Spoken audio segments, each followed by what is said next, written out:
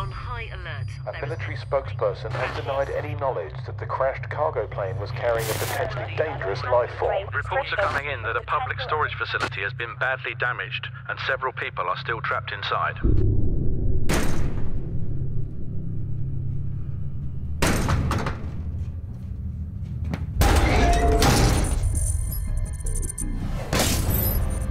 Well, you definitely scratched it. If you broke the glass, there's a metal shutter outside. So what do we do now? Hello! There's no way that was a normal cargo plane. So something on board.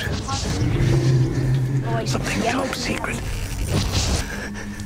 Something like that thing out there. What do you think it wants? Maybe it's trying to find another way in. Which means we need to get out of here before it does. Close the door.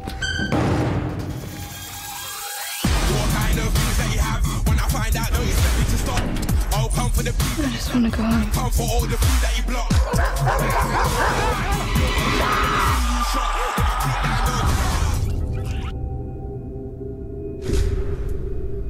I got nothing to lose now, so I'm gonna go and fight that thing.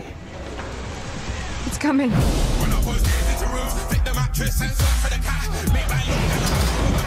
just want to get out of here.